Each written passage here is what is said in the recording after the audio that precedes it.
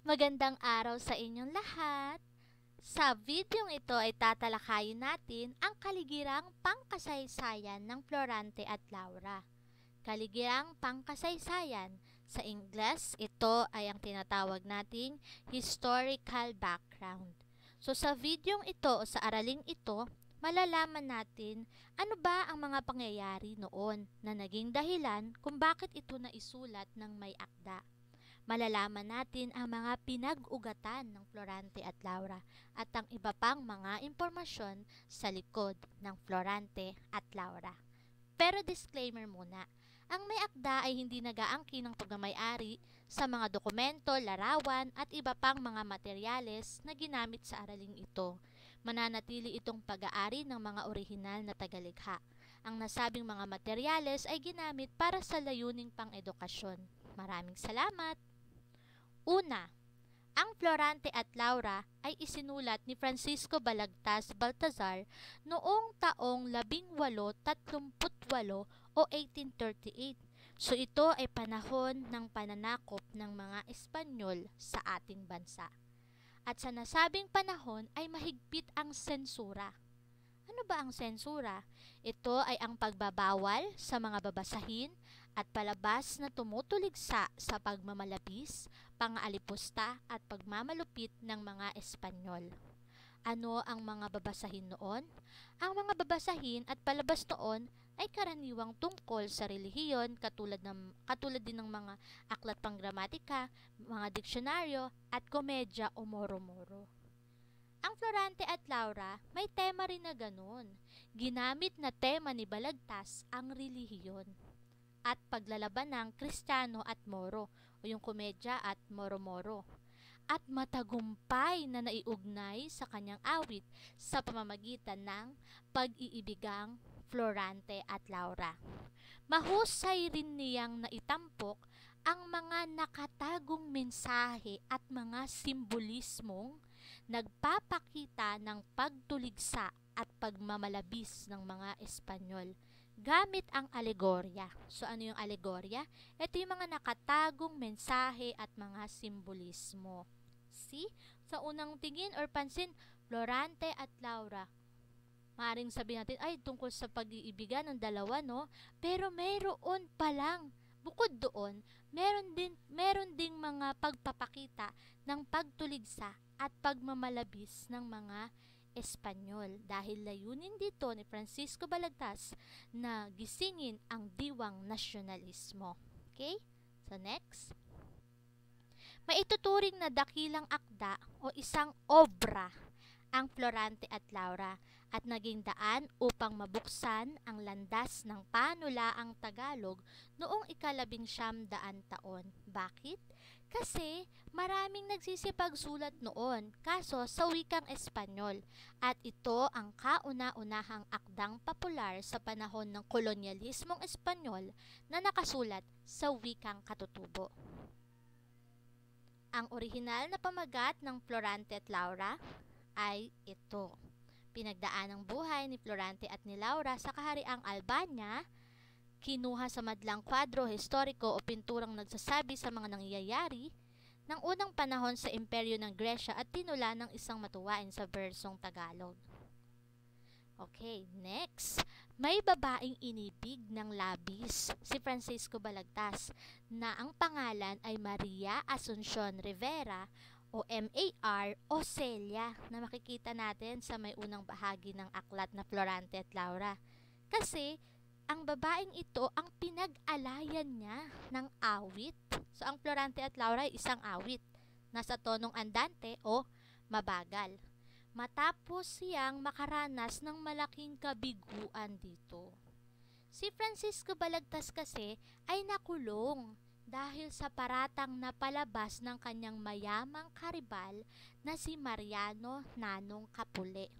So yung kanyang mga naranasang kabiguan, sakit, pangaapi, panghihimagsik at kawalang katarungan sa buhay at sa lipunang kanyang ginagalawan ang pinaghugutan ni Balagtas upang maisulat ang awit na Florante at Laura sa loob ng selda o kulungan.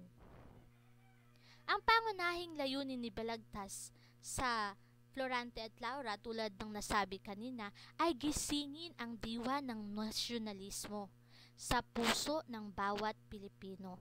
Sa kabila ng maling pamamalakad, di makatarong ang pagtrato, pangaapi, pagmamalupit at pagmamalabis ng mga Espanyol.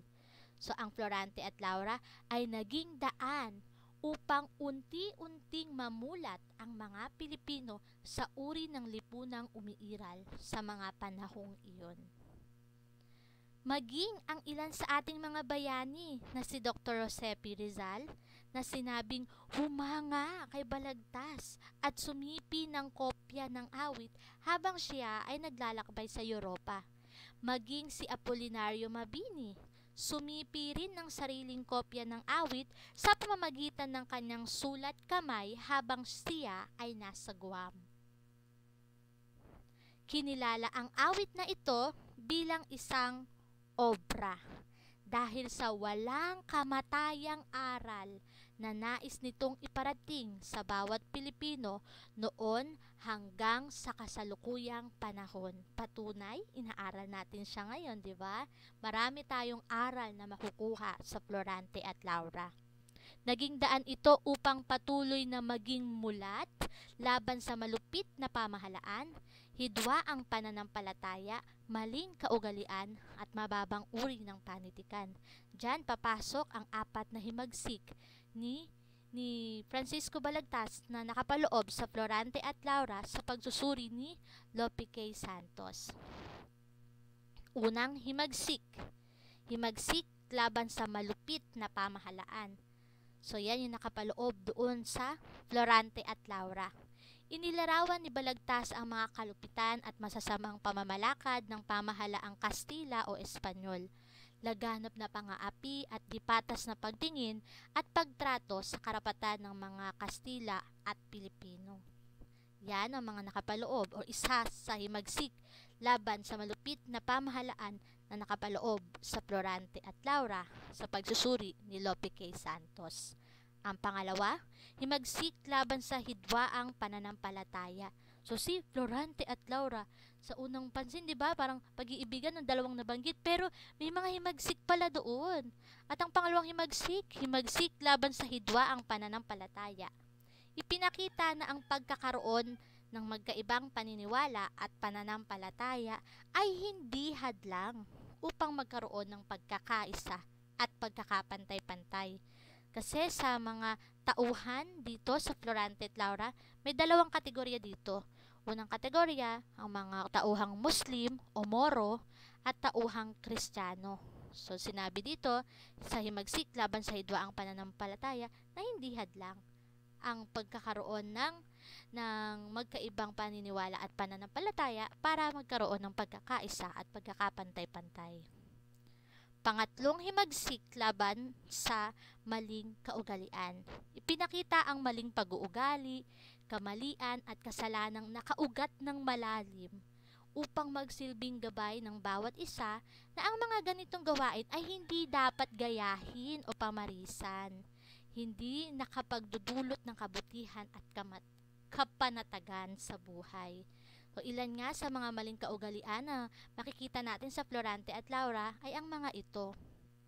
Pagkamainggitin, pagpapalayaw sa anak, pagkamapanghamak, mapaghiganti sa kaaway, pang-aagaw sa iba ng pag-ibig o ng iniibig, at marami pang iba.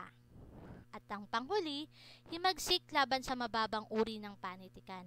Itinampok na maaring maging instrumento ang panitikan upang mailahad ang mga maling sistemang umiiral sa ating lipunan. Ipinakita din na nagiging paraan ito upang mamulat ang bawat isa sa katotohanang pilit na ibinabaon sa limot at mapahalagahan ang katutubong panitikang natatangi sa ating bansa. At ito ay ang Florante at Laura. So ito ang ating mga sanggunian. Salamat sa panonood at maligayang pag-aaral sa Florante at Laura. Kung may natutuhan, palambing naman ng subscribe. Salamat! Naway patnubayan kayo lagi ng dakilang lumikha. Paalam!